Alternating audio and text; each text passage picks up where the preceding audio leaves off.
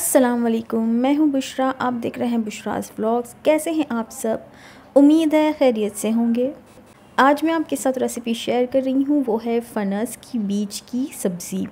ये बहुत ज़्यादा टेस्टी लगती है, जो कटहल होता है, उसके अंदर की जो ये बीज होती है, उसकी मैंने सब्ज़ी बनाई है। तो जल्दी से वीडियो स्टार्ट करती हूँ। बसमीम फ़नस के अंदर की जो बीज होती है, उसको अच्छे से सुखा लिया जाता है। उसके बाद इस तरह से कट कर लेते हैं और इसके ऊपर के जो छिलके होते हैं, वो निकाल लेते हैं। इस तरह से सूखने के बाद वो हो जाती है और फिर इसको इस तरह से कट करके इसके ऊपर का जो छिलका है, वो निकाल लेते हैं। तो मैंने भी ऐसे ही किया है। इसके ऊपर का जो छिलका है, वो निकाल लिया है और इसे दो हिस्सों में कट कर लिया है।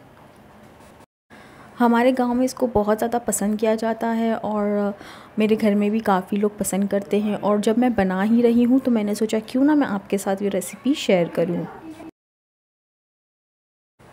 मैंने दो मीडियम साइज़ की प्याज ली है, उसे बहुत पतला पतला कट कर लिया है और एक बड़े साइज़ का टमाटर लिया था, उसे बारीक बारीक कट कर लिया है। सूखा खोपरा लिया था मैंने, इसे मैं इस तरह से भून लेती हूँ गैस पर ही। और इसके बाद इसके छोटे छोटे पीस करके मिक्सर जार में इसे पीस लूँगी और इसका पाउडर बना लूँगी। सबसे पहले मैं इसे भून लेती हूँ गैस पर इसी तरह से। उसके बाद जब ये ठंडा हो जाएगा, उसके बाद इसे बारीक बारीक कट करके मिक्सर जार में डाल के इसे पीस लूँगी। गैस पर भुनने के बाद ये इस तरह का हो जाएगा और इसे अब मैं ठंडा करने रख देती हूँ साइड में। मैंने एक फ़्राई पैन लिया है, उसमें तेल गरम कर लिया है। अब मैं प्याज को फ्राई कर लूँगी। तो मैं प्याज को थोड़ा हल्का गोल्डन कलर होने तक फ्राई कर लेती हूँ।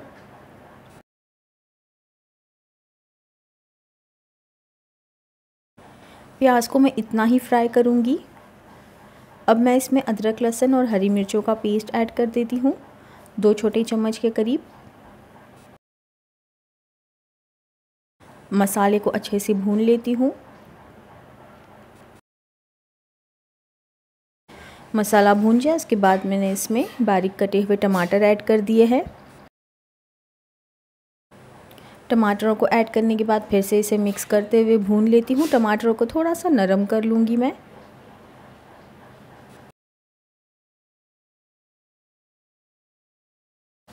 थोड़ा सा पानी इसमें ऐड कर देती हूँ। और फिर से इसे भून लेती हूँ।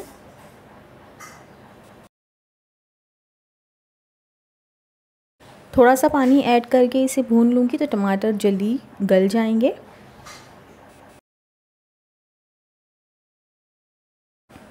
मसाले ऐड कर देती हूँ तो दो छोटे चम्मच लाल मिर्च पाउडर ऐड कर दिया मैंने। दो छोटे चम्मच भरकर धनिया ज़ीरा पाउडर। आधा छोटा चम्मच गरम मसाला पाउडर। थोड़ी सी हल्दी ऐड कर दूँगी। नमक आप अपनी टेस्ट के हिसाब से ही रखना। सारे मसालों को अच्छे से मिक्स करते हुए भून लूँगी और मैं इसमें थोड़ा थोड़ा सा पानी ऐड करती जाऊँगी और मसाले को बहुत अच्छे से भून लूँगी ताकि जो टमाटर है वो अच्छे से नरम हो जाए।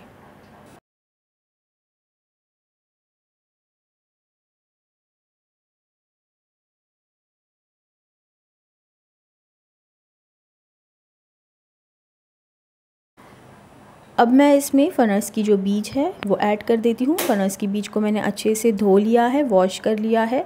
उसके बाद अब मैंने मसालों में ऐड कर दिया है।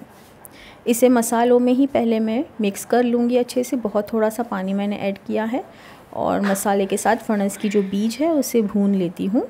उसके बाद मैं इसमें पानी ऐड कर दूँगी और फनस की बीज को पका लूँगी। थोड़ी देर ढककर पका लेती हूँ इसे। अब मैं इसमें खोपरा जो मैंने पीस लिया है, वो ऐड कर दूँगी।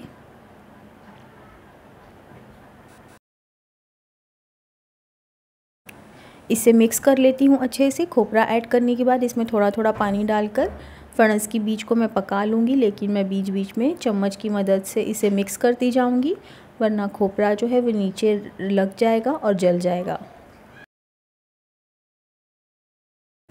तो मैं इसे अच्छे से पका लेती हूँ और थोड़ा थोड़ा सा पानी इसमें ऐड करती जाऊँगी और इसे मैं तब तक पका लूँगी जब तक कि जो फनस की बीज है वो अच्छे से नरम नहीं हो जाती। तो मैं उसमें इतना ही पानी यूज़ करूँगी जितना कि फनस की बीज पक जाए।